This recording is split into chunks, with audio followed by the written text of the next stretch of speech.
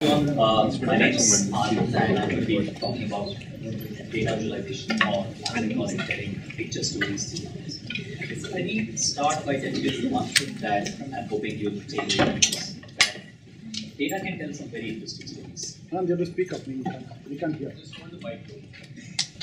That data can tell some some very interesting stories, and some of these can be picture stories. But even otherwise, data is very exciting. And partly, I want to share some examples of what can be done with data. And this talk is more about just expanding your mind, hoping to show you some new things, and hoping to tell you some interesting stories that just come up purely from minds. And what I will not be doing is talking about any of the techniques that are going on behind this. There are at least a couple of talks going forward that will be talking about how one can do things like this. This is just about examples of what can be done. Uh, the picture that you see here is a map of the flights in the United States. I'm sure some of you have seen this before. And if you if you saw this in an animation, uh, you would have seen that the flights start from Europe, land into the country, while the rest of the country is dark as while it wakes up. And then the local flights start, flights move, and then eventually there are flights on the Pacific coast, the East Coast starts sleeping at that time. And this visualization, this, this animated visualization, this video, something that was made entirely using the only source of every dot on this image was the flight position at a given point in time. Nothing more. Let me introduce myself. My name is Anand. I'm a data scientist at um, do some data visualization. Some of what I'll be showing you is our work, some of it is public work. And we'll be talking about some examples of pictures purely generated images.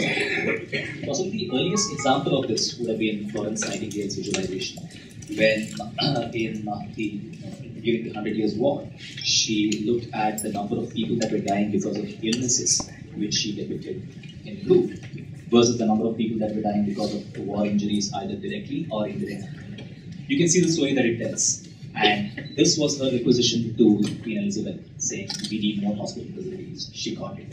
And this is going to be one of the contributing factors for England's victory in that. Uh, John Snow, uh, in sometime around the same time, prepared this visualization to show where cholera hits. At that time, it was not known that cholera is waterborne, and he plotted the spots where families were were affected, and the pump that they were drawing water from, and found a very strong relation. That established uh, quite clearly that water was the source of the disease and ended up saving several lives. Now, this was centuries ago, and if they could visualize data then this effectively, we with computers ought to be able to do better. And to be fair, we are doing better. We're actually doing quite an amazing job. This, for instance, is a visualization of London. Every single dot here is drawn in an automated way. The red dots are places where people have taken photos and posted it on Flickr. The blue are dots where the tweets coming from. And you can immediately see a pattern. You can see that there are the business districts which are somewhat bluish. There are the tourist spots which are reddish. You can see that, uh, there's uh, Buckingham Palace. There's that's the of London. Uh, and you can see Oxford Street emerging. You can see the structure of the streets, and all of this is without overlaying any real data, any map-based data. This is purely through Flickr and Twitter. but question is, why visualize? That part's being cut off, unfortunately. But visualize for a minute that this says why uh, well, there are some things that visualization can tell you that you cannot see very immediately with the data. For example, uh, if you take a look at this data set, it shows you for different cities over a year the price and sales of a product. And our first guess would be well, the average prices look the same nine, nine, nine, nine. The average sales looks the same, it's all 7.5. The average variance is consistently 10 uh, for the price, and the average variance for sales is 3.75. Uh, looking at the numbers, I can't quite tell much. I mean, maybe I can figure out some pattern. It'll take me a while. But let's just plot it. But firstly, first thing I want to highlight is that this data set looks like the four cities are completely identical. They're not. Bangalore, slightly positive correlation. So as you increase the price, the sales seems to increase. a bit. Delhi increases up to a point, but then stops. Hyderabad looks like there's a near perfect correlation, but there's an aberration. That might have been an error in the data. And Mumbai, we never bothered changing the price except on one, one occasion when we did it moved, but I would argue that there's not enough uh, data to prove the point. Now, it's the same data set. The conclusion that we're drawing from the picture is extremely different from the conclusion that we're drawing from the summarized statistics, from looking at the numbers themselves. And there's, again, one thing that I want you to take away is when you get a data, set, plot it, just plot it. Whatever way you can, whatever tool you have, Excel, paper, pencil, whatever, plot it, you are bound to get something that is different and more insightful than if you were just looking at the numbers. Uh, we were working with an energy utility who said, look, we have a fraud problem. We know that meter readings are being taken, but not quite accurately. In some cases, it's solution to the customer, in some cases, it's not. And we have this ton of data, 180 gigabytes worth of it, which we can't process. We don't know, we, don't, we have neither the technology nor the analytic expertise to see whether there's a pattern of fraud there. So we did what I just suggested. Let's just simply plot it. Nothing sophisticated. Let's see how many people have a meter reading of 0, 1, 2, 3, and so on. So this is one year's worth of data for a state. And what that looks like is this. You know, roughly like a normal curve, log normal actually. But there are a few spikes. The biggest spikes are at 50, 100, 150, 200 million, so that we are here. And those incidentally are exactly the slab boundaries. A person with a meter reading of 150 pays uh, meter reading of 100 pays slightly less than a person with a meter reading of 101. That's where the spikes are. What surprised us though is uh, the spikes at 10, 20, 30, 40, and so on. There's no economic reason for that. Or the, the unit rate is the same. So if you had a meter rate of 11 versus 10, big deal. It's just one point. So why were these happening? We weren't sure. Then the uh, commissioner looked at it and said, okay, this supports the other uh, thought that we had, which is these are not meter readings that were taken then adjusted. These were meter readings that were never taken in the first place. Guy just puts in a wrong number. So not only do we have a, and they were trying to automate the readings and what they needed some a, a, case to prove to the unions that there is a reason for automating it, and this was strengthening their case. But then a second look at the data showed us uh, a few other things because now sure people are trying to reduce their meter reading, but is this happening uniformly? Meaning, is it more like you know, guy comes, I pay him certain sum of money, and he reduces the meter reading, or is it more like a fixed formula? on a regular basis, you keep my meter reading down? Is it the same set of people for whom the meter readings are coming down or, or getting to the uh, boundaries? Or is it you know, very diverse set of people? So uh, while you probably are not able to see it very clearly, each row shows the meter reading of an individual over the course of a year. And the lady who's in the first row had a reading of 200, 200, 200, 200, 200. And that's tough to it wouldn't even be a case of broken meter, except for this uh, So this gentleman looked at the name and said, oh, okay, I know what happened to that 350. Apparently, there was a huge marriage at their uh, place. And uh, his guess is the actual reading would have been 5,000. So the landman would have gone to him and said, and said, please, can I put you in highest category or something like that. Uh, but it also varies by geography. So, for instance, if you take different sections of the city, the degree of fraud, which you can characterize as the percentage bump at the uh, slab boundaries, varies anywhere from, for instance, in section 1, it's 70% going all the way up to 136%, which means that there are about you know, close to 1.36 times as many people with a meter reading of 100 as compared to 90. Huge jump. So, uh, so that section's got far bit of fraud happening, and as you go further down, the degree of fraud keeps decreasing. You can't see the bottom of the section. The bottom was something like 30% fraud, which is I guess one has to live with some degree of fraud. Uh, but here there's uh, an interesting anomaly that there was a big dip here, and then almost as if to compensate, this moved up. And checking back with the records, looks like that's the time when the section manager moved in there and moved back, moved out of that section. So yes, the data is people dependent, but uh, in some cases it can also show you the people that are driving some of this data. Uh, we were working with the Tamil Nadu uh, Education Department, trying to see if there was a story around what predicts marks. So given a child, can we find out upfront what marks are they likely to get purely based on demographic. So does gender make a difference? Does uh, community as a make a difference? Does the choice of subject make a difference? And you'd be surprised to find that uh, the choice of subject actually makes a massive difference. That comes that. Uh, but uh, we're also testing some weird things like uh, does astrology have any significance? Does numerology significance? You know, do people born in certain months uh, score better marks? People with different first letter of the name have different marks and so on? Now, people with different first letters, uh, there is no statistically significant difference. If you're interested in 2011, the letter T scored the highest mark. the letter W scored the lowest, but not uh, statistically significant, not numerically significant. Sun sign makes a huge difference.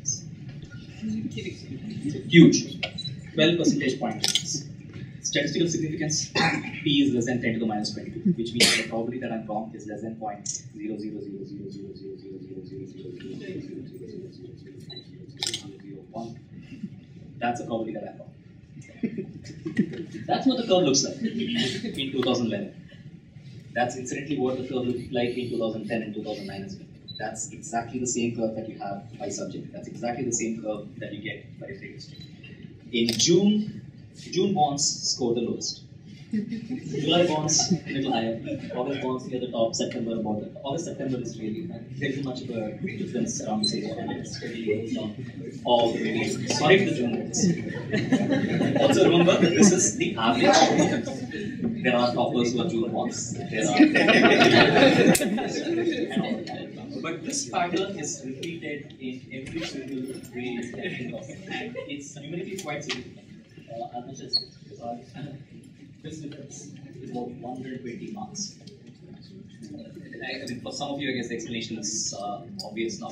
It isn't as much to do with the sun sign as the age. Uh, children born in June would have just become six years uh, at the time of admission, and they'd be the oldest in the class. And at that age, a one-year difference makes a huge, uh, it is a huge advantage. The same pattern was seen with uh, the Canadian hockey team, where Martin Lavier and outliers. He talks about the hockey team having people consistently born in January, February, and March, and very few exceptions. The, re- the reason again is that they, the cutoff for them was 31st December. So anyone born in January just misses the cutoff. Therefore, becomes the oldest student in the next batch, and therefore has the best physique. So, which is an interesting thing, and a possible implication of this, therefore, is you start splitting sections by age rather than randomly, you can have differentiated. Uh, uh, uh, you teach children differently. Uh, but on the other hand, it's probably a bit sad that uh, 12, 14 years of education can't really wipe out this one year advantage at the beginning. What are we teaching? Uh, Oh, incidentally, uh, the choice of subject makes an even larger difference, 18 percentage points.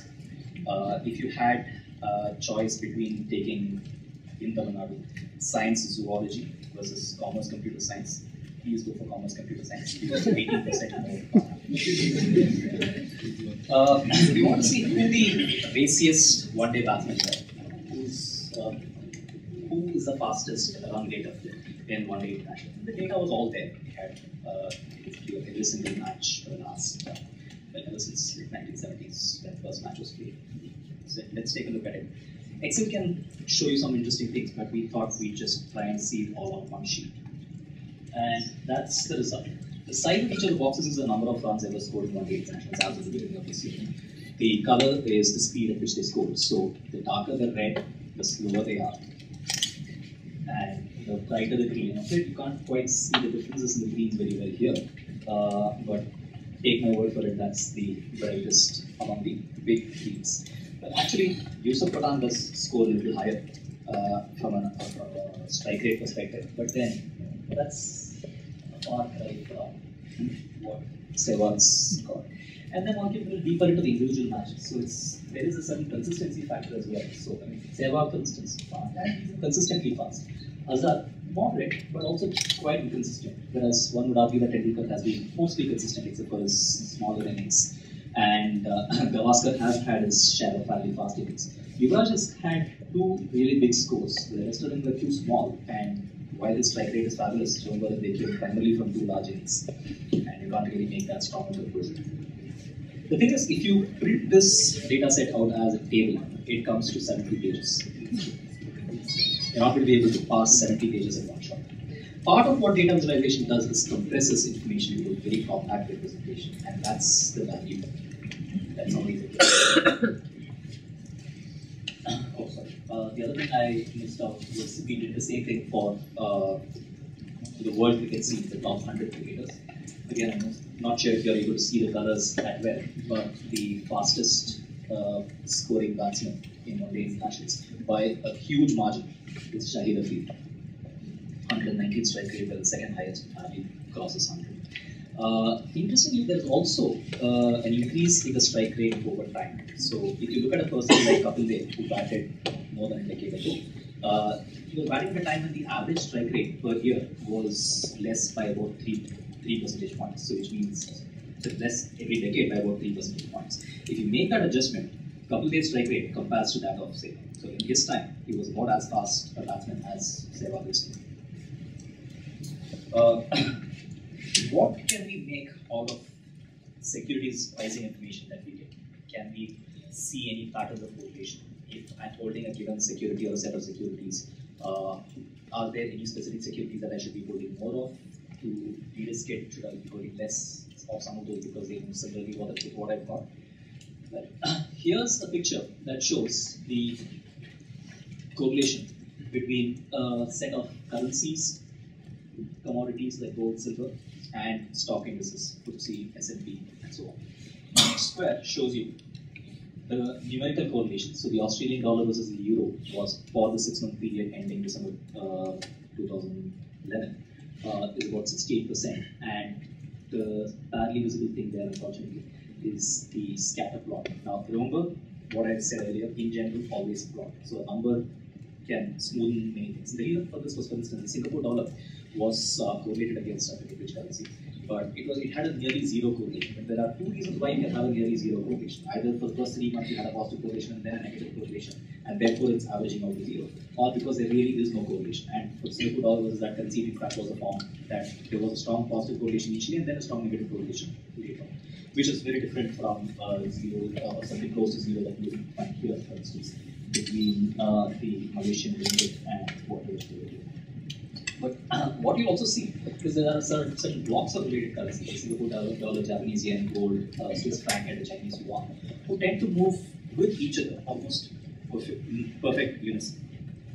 And there are uh, there's another block of currencies here, uh, the S&P, the FTSE, and the BSE, which also moves within each other. And for some reason, the Pakistani rupee also reasonably correlated with that. But these two blocks move countercyclically with each other. So if any of these East Asian currencies plus gold and the Swiss franc goes up, this block goes down, and vice versa. So if you held gold and wanted a decent hedge against it, the most negatively correlated against that would be the FTSE. So hold the British index, that's your best hedge against gold. If you hold the FTSE, then your best hedge against that. Uh, if you hold the FTSE, your best hedge is gold. And if you hold the Indian rupee, then your possible best hedge against that would be the Japanese yen. But it's not strong enough, minus 27. It's still not good.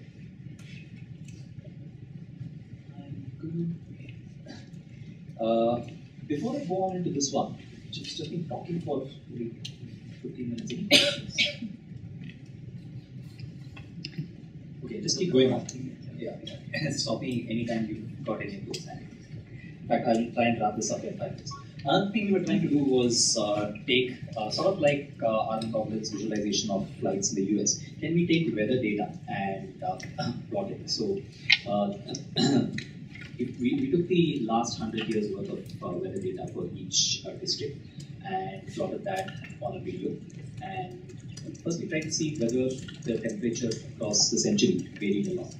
Now, unfortunately, the color combination isn't looking great here either. So you just have to see it on our website. Um, but each row is showing you India's weather by district by month. So January, February, March, April, and so on. And that's it, that's each column. And each row is showing it to you by decade. So 1900, 1910, 1920, and so on.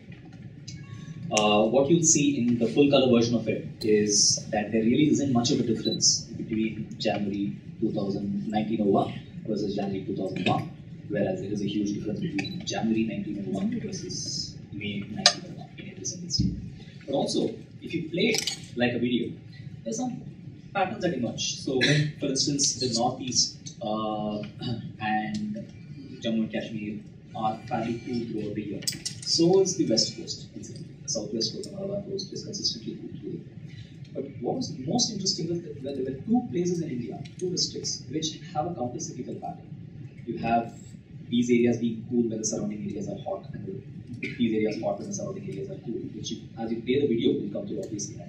The just now. Uh, one is Bilaspur in Chhattisgarh, and the other is Shimoga. So one common thing we could find is that both are valleys. So perhaps that's a significance. We don't know. Now the thing about some of these visualizations is they can tell you what's happening, not necessarily why. I'm ask that question a little deeper with more data. Uh, let's the dashboard section. About something that we did with uh, Triple IT. we were playing with uh, their computer usage. So for a period of 40 days, every single activity of uh, every single student was recorded. When I say every single activity, I mean right down from every keystroke that they type, which applications they were using, and so on. So it therefore means that I have the Gmail passwords of at least the students. They, they were told, by the way, that they have the option of turning it off. Brilliant. Anyway, so each column is a student and each row is an application that they were using. The color indicates the degree to which they were using it. So the browser, uh, Firefox was the most used. Microsoft Word, on which they were doing assignments, was the second most used. Chrome was the next most popular browser, and you cannot see clearly who's using Firefox versus who's using Chrome. And Internet, Internet Explorer is there as well somewhere. Some people really do use Internet Explorer. and we have some strong doubts on why they're using it. uh, this might explain. The fifth most used application was VLC. And, uh, they did have course videos actually. but uh, you could see the titles of uh, the, the content they were watching. And uh, one good thing came out of it. We have a solid movie recommendation list. also, uh, this the width of each of these is the amount of time that they're spending on the computer. So the people out here aren't spending that much time. Uh, here are spending that bit of time, and the person here and the first, the two top users, uh, between them, uh, they are among the few people using Half-Life. Only four people playing Half-Life as opposed to, for example, Notepad, which is used by practically everybody, command processor, which is used by practically everybody. But just these four people have managed to push Half-Life into the top half of the list of applications and spending 10% and 11% of their time on this. This guy is a lead. World of Warcraft, 8% of the time. yes, that he or she uh, gets the time. Uh, what this tells you is partly who's using what how, but it can also go a step further than that. What we haven't done yet, but are in the process of doing, is trying to see how they switch between applications. So when I'm using, for instance, my editor, do I immediately switch to the browser, or do I then switch to MySQL, which will doing a course, or use uh, you know, video while I'm learning? What are the patterns of learning? How long does it? The other thing that we're exploring is how long are they spending on a video? Is a video of five minutes too short? Is a video of one hour too long? How, you know, people would pause it. Do they pause it? That's another kind of behavioral insight that we're trying to draw from this when I was uh, relocating back from the UK, one of the things I was trying to decide on was which city to settle in. Uh, when I was here in August, so I caught up with uh, Tej, he to a bunch of people, who to a bunch of people, and in Bangalore it was like to get to a bunch of gigs. Tried the same in Chennai, found one chat, independently found another chat, independently found another chat. Seems to stop there, I could find people. Then, you know, uh, tried the same thing in Hyderabad, couldn't find anything. So I said, let's let's take GitHub. For those who are not aware, GitHub is sort of like Facebook for uh,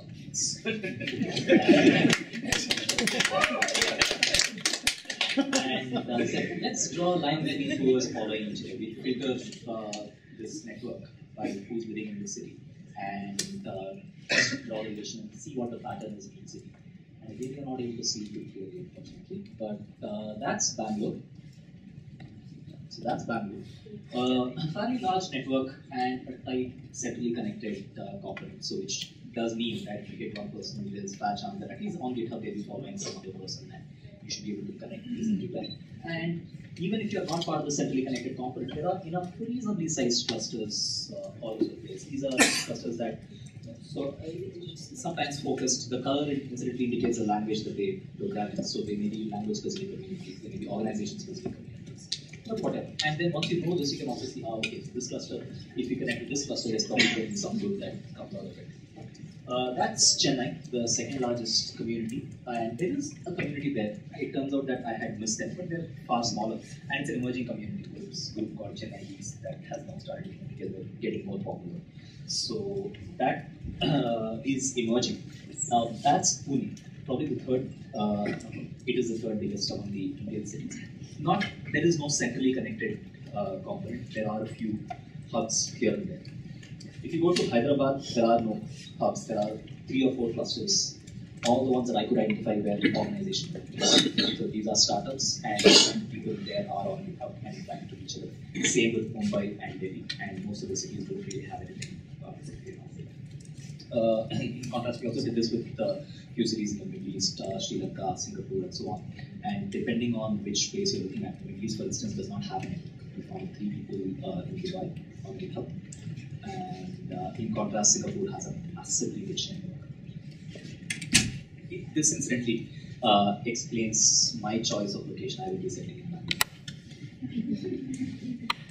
But not all designs need to be that complicated. Here's a simple redesign that we did for the uh, AP Central Park for their electricity bill. Sometimes something as mundane as electricity bill can be visualized. It's really just one number that you want to see. How much do I need to pay? Let's make sure that that's common.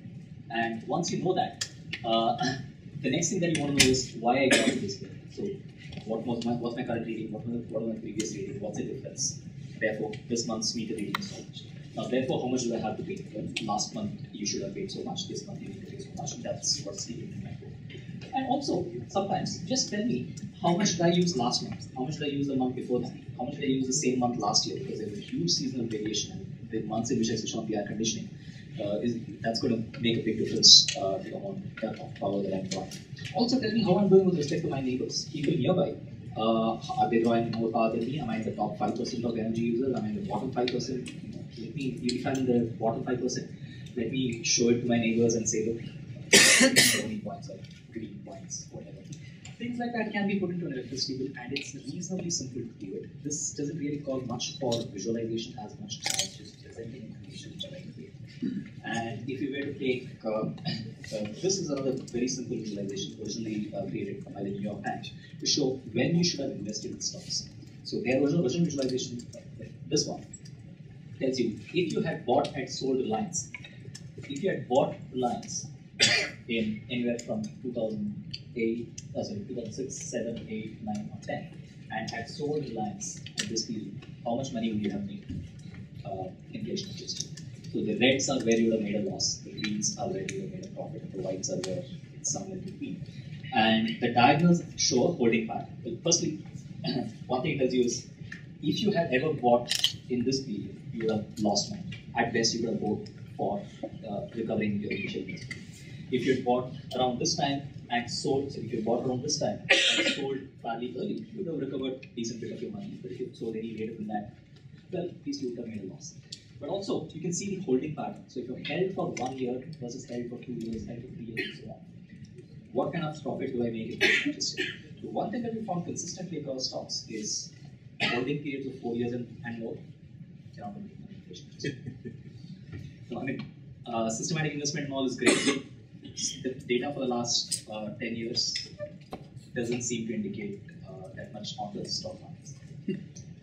So let me end with four books which you can't read again. but it's easy enough to remember them. Uh, just pick up any book by Edward Tufte. These are all books by Edward Tufte. And you'll get a sense of what visualizations can do. Like I said, I have not spoken about how you can create these visualizations. I will emphasize though that half of these visualizations can be created on Excel.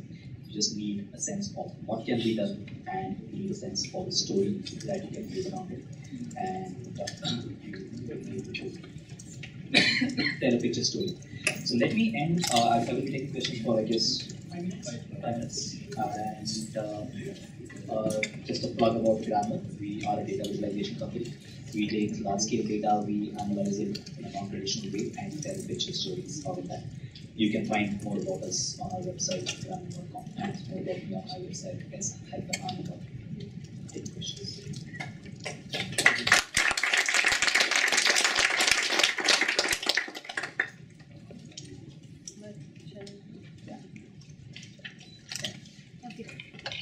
um, I have two questions. The first one uh, has to do with uh, clearly there, there has to be. I mean the the design that is shown on the front end. Uh, it's what is also the kind of. I mean, how does the technology make it possible for you to display something? I mean, so basically, I just want to understand. Uh, this dynamic between uh, design and technology, and therefore, what makes it possible for you to show something in a certain way? Uh, so that's my first question. The second question is sort of uh, still something I'm uh, trying to, to arrive at in my own mind, but also um, in terms of, uh, I, I mean, I don't know if it's, it's as simple as how do you choose what is the problem out here. So also, how do you determine patterns? And so where I mean, so this, this question about uh, um, this whole process of how do you read the pattern? Are you starting with a particular question, or, or how is it, or is it a problem that's posed to you? So, So the first question was the interplay between design and technology. Design is something that unfortunately comes only through practice. There are a few guidelines that one can pick up, but unfortunately, even applying those guidelines does take a lot of, practice. The good part, however, is technology helps, and there are an increasing number of visualizations that one can create quite easily. Uh, and in many cases, the technology itself drives the design. So if it's possible to easily create a VMAP, create a VMAP. It's extremely difficult to create what I showed you for the uh, securities visualization, which is called a uh, cluster plot. Can't. So to a good extent, design is driven by what you can create. And therefore, the trick might simply be to keep on the lookout for what are the tools that can create the visualization. Easiest way is an event like this. Uh, almost easy, as easy a way is to reach out to people who are talking about those technologies say, I want to represent something like this, just how and what is the tool that will do it. The other there are applications like, for instance, Tableau or probably Spotfire, which do a fairly good job. Excel 2010, I am 100% sure, has at least one chart that you have not used. Without it, no matter who you are, no matter how many centuries of Excel, eh, Excel experience you have, you have not, you, there is at least one chart that you have not used. So, uh, the quick answer, therefore, to design those technologies, design is to experience technologies and enabler, and quite often you just go to easy to technology. The second question was uh, the patterns and patterns. How do you know what pattern What to way you work? Right. Uh, but part of it is, of course, uh, the experience. But uh, one, there there are two ways of going around this. One, ask the question, try to find the answer. Uh, in which case, you're well off. You know the domain, you know what kind of analysis that needs to be done. What you may be lacking is the ability to do that analysis, which can be easily outsourced. The tougher part is if you don't know the domain, don't know what to ask, and just want to know what's interesting. What I found is one simple rule of thumb is data can be divided into two. Any data set that you can take can be uh, taken as an Excel sheet. Take an Excel. It'll have a bunch of columns and a bunch of rows. The columns will typically be of two types: categorical variables, variables that are uh, uh, metrics or numerical variables, which will have numbers in them, decimals quite often and categorical variables, which are categories. They will typically be text. So let's assume we split the columns into these columns have text, these columns have numbers. Now, take any one of those numbers that you're interested in and find out how it varies by the category. For example, we are working with uh, a poultry company, trying to see what the uh, variation in mortality is for the chicks. So one simple automated way of detecting this is to say, what are the roof types? There are three types of roofs, asbestos, tiled, and thatched. For each roof type, what is the average mortality? is there a significant difference? For each floor type, is there a, what is the average mortality? Is there a difference? So for every single simple every single categorical variable, find out what the average is of the metric. Now this is a simple technique. It is just saying find the average of each of the segments. But about 80% of the analysis that I've seen in all my life comprises of just this one thing. Tell me how a particular variable varies based on a set of categories. The remaining 20%, it's okay, you can, you know, there you probably can go to the domain. But the good part is this is something that can be done blindly without requiring much.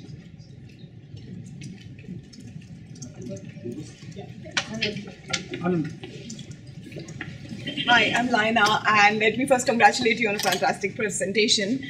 Uh, what I wanted to point out was there's this danger of correlations, making correlations between uh, various variable and then making a, a broad generalization out of it. And uh, especially the birthday incidents kind of uh, made me a little worried. How do you protect yourself from making? I mean, how do you, how do you yeah, how do you protect yourself from making such generalizations? What are uh, what are the processes you follow within your team to to make sure you're not falling into that fallacy? Uh, Eric Raymond had given the answer to that Okay. Uh, many eyes make thoughts shallow. Okay. You just open up the raw data, you do the analysis, they find something different it tells. And it isn't necessarily a synchronous process either. We create something, we share something. Two months later, we find out that it's wrong. That. We have found out in such cases. But the access to the raw data makes that possible. So let's try and make sure that it's with raw data, make it publicly accessible. With data, at least it done accessible. Okay.